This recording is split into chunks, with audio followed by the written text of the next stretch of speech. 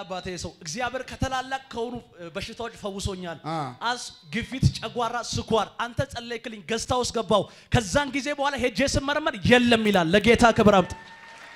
አስ፣ ጨጓራ፣ ስኳር፣ ግፊት ከአራቱም በሽታ ቆይ ቆይ ቆይ ከምን ከምን የተፈወስከው?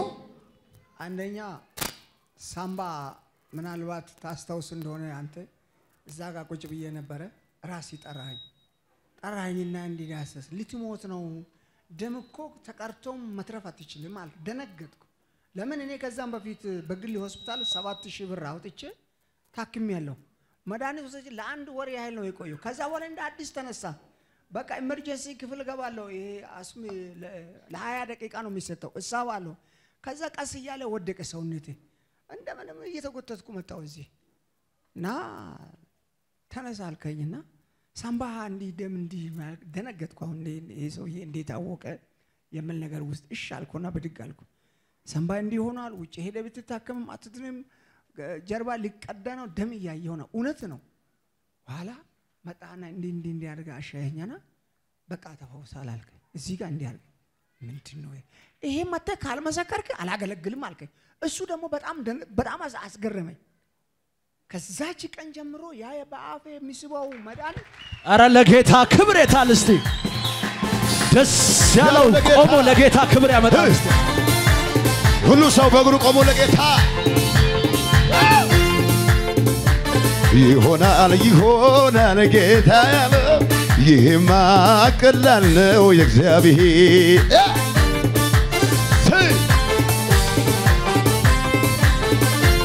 አሜን አሜን አሜን አሜን አሜን አሜን። በሚመጣው ዘመን ያዕቆብ ስር ይሰዳል በጨለማችን ላይ ብርሃን ይወለዳል። ምድራችን ባስመራ ይሞላል በፍሬ። ሀገር ሃሌሉያ! ጉርሜ ወይ ምን ማለቱን አላገለግልም አልክ አላገለግልም ማለት ጉዳዩ በሆስፒታል የተረጋገጠ ነው። ማስረጃ አለው። ዶክተሮች ትሞታለህ ብለውታል። አንተ ስትመጣ እንደዚህ አልከው። የመጀመሪያ ሳምባ ያለው ስትል ከየት አወቀ ይሄ ሰው አልኩኝ። ደነገጥኩኝ። አንተ ጸለይክና እንደዚህ እርግጠኛ ወቅ ይሄ ሁሉ ተፈውሰ ካልመጣ አላገለግልም ብለህ ተናገርክ። ሄጄ ስመረመር ያ ሁሉ በሽታ የለም። አሃ ተፈውሳል ማለት ነው ተፈውሰሃል። በዚህ ደረጃ እርግጠኛ ነኝ እያልክ አንተ ማለት ነው። እሺ ሳምባ አንድ ሌላ ምን ነበረ አንደኛ ሳምባ ነው፣ መተንፈስ አልችልም። ሁለተኛ አስም አለ፣ ከፍተኛ አስም ለምትጋለ ሲቲ ስካን የሚባል አለ። በዛ መሳሪያ ነው የተገኘው በሽታ ሁለት ሺ ብዙ ጊዜ እና ሳምባ፣ ሌላው ደግሞ ጮጋራም አለ። እንደገና ደግሞ ሰውነት ላይ ብዙ ነገር አለ። ይሄ ነገር ግን እግዚአብሔር ምንድን ነው ያደረገልኝ?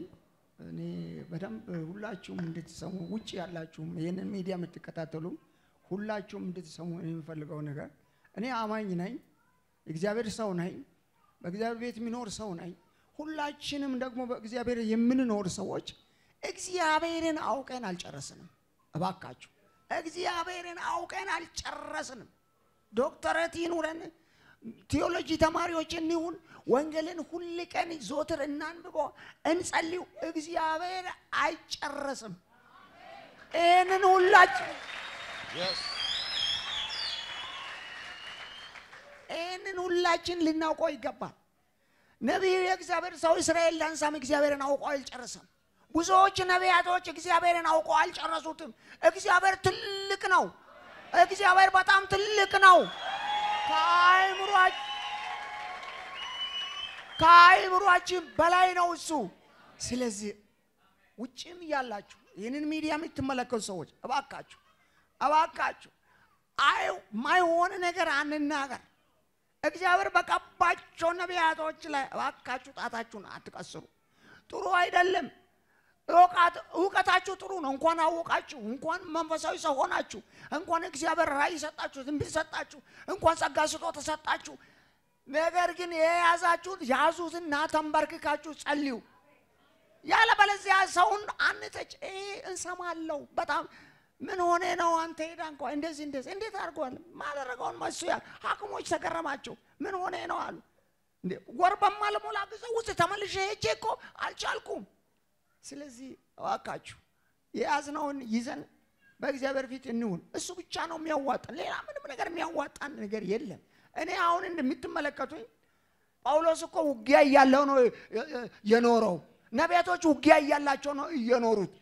እስጢፋኖስ እኮ እየተወገረ እኮ ነው፣ ደሙ እየፈሰሰ ነው። ጌታን እያየ ይቅር በላቸው ብሎ የለመነው። እባካችሁ ይሄ ውጊያ ለምን ኖረ እንዳትሉ፣ የእግዚአብሔር ሰው ሆነ ለምን ትቸገራለህ አትበሉ። ይሄ ነገር የምንለይበትንና በእግዚአብሔር ኃይል የምናስወጣበትን መንገድ እንዲሰጣችሁ ሁላችሁም ለምን እኔም ይሄን ነው የሚጸልዩ። ሌላ ምን ምለው ነገር ሃሌሉያ ለጌታ ስፍራ አምጣ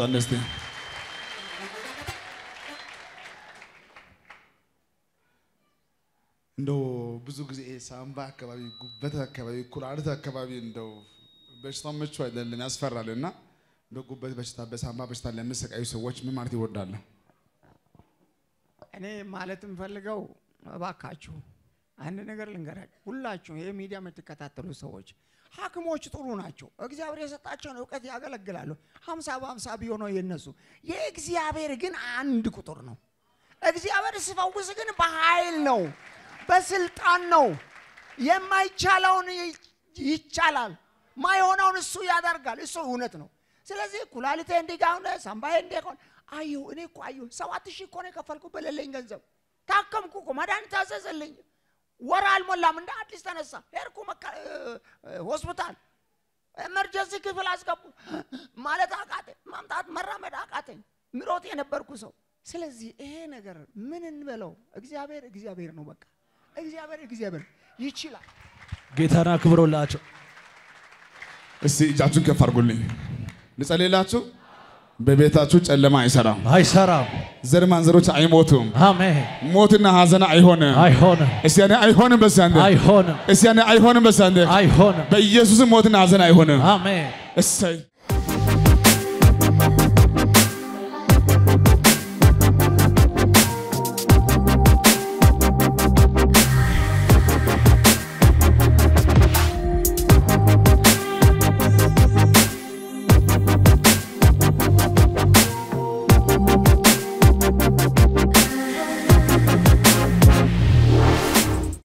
የሆነላት ምንድን ነው? ከባድ የሆነ የጨጓራ ካንሰር ነበረባት። በጣም ትሰቃያለች፣ በጣም ትጨነቃለች። ያ ብቻ አይደለም፣ ከባድ የሆነ የወገብ ህመም ታማሚ ነበረች።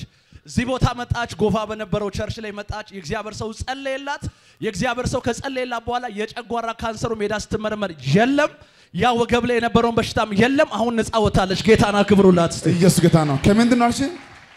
ጨጓራ ካንሰርና ወገቤን ደግሞ ጉባኤ መሀል ወገባችሁና እግራችሁን የሚያማችሁ ሰዎች ያዙ ስትለን ከዛ ወገቤን ይዤ ተፈወስኩ። አሁን በሽታ የለም። ምንም የለም።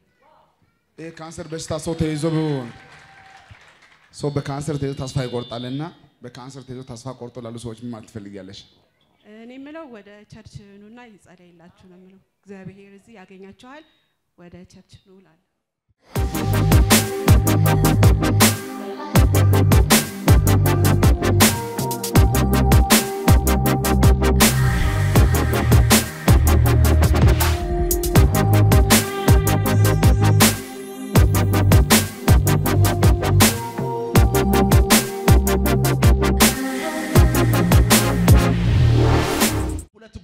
ነው የሆነልኝ። የመጀመሪያ ደረጃ የመጀመሪያ ልጄን ከወለድኩ በኋላ ለስምንት ዓመት የሚያክል ልጅ መውለድ አቃተኝ።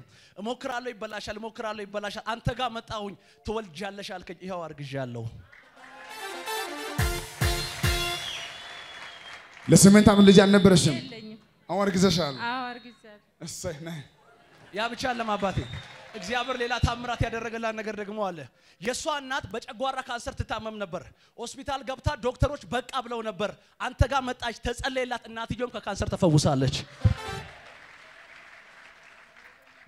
አዎ እናቴ ውሰጂና ግቢ አድንም ከእንግዲህ እዚህ ኢትዮ ጠቢብ የሚባል ኮልፌ ውስጥ አምሳ ሺህ ከፍለን በአራት በሶስት ቀን ውስጥ ከእንግዲህ አድንም ውሰዱና ግቡ ሲሉኝ እናቴ አትሞትም apostle ጋር ሳትሄድ ብትሞትም ከሱ ቤት ሬሳ ይግባ ብዬ እኔ ከዛ እዚህ ሳመጣ ሀያ ሁለት ጎላጎል እንትኑ ገዝታ ሳመጣት እዛ ተጸለየላት እናቴ ዳነች። አሁን ከካን ጌታን ማን ነው በእልልታ በጭብጨባ የሚያከብር? እስቲ ሃሌሉያ። አሜን፣ ቀኝ ከፍ አድርግልኝ። ሀምሳ የማይችለው ጌታ ይችላል። አሜን፣ እጅን ከፍ አድርግልኝ። ልጸልይላችሁ ወይ? በኢየሱስም ከዚህ በኋላ ገንዘባችሁ በሕክምና አይበላም፣ አላስፈላጊ ቦታ ላይ አይበላም። የአንተ ገንዘብ ለወንጌል ይሆናል። ሞትን ሐዘን አይሆንም። እስቲ አይሆንም በዛንክ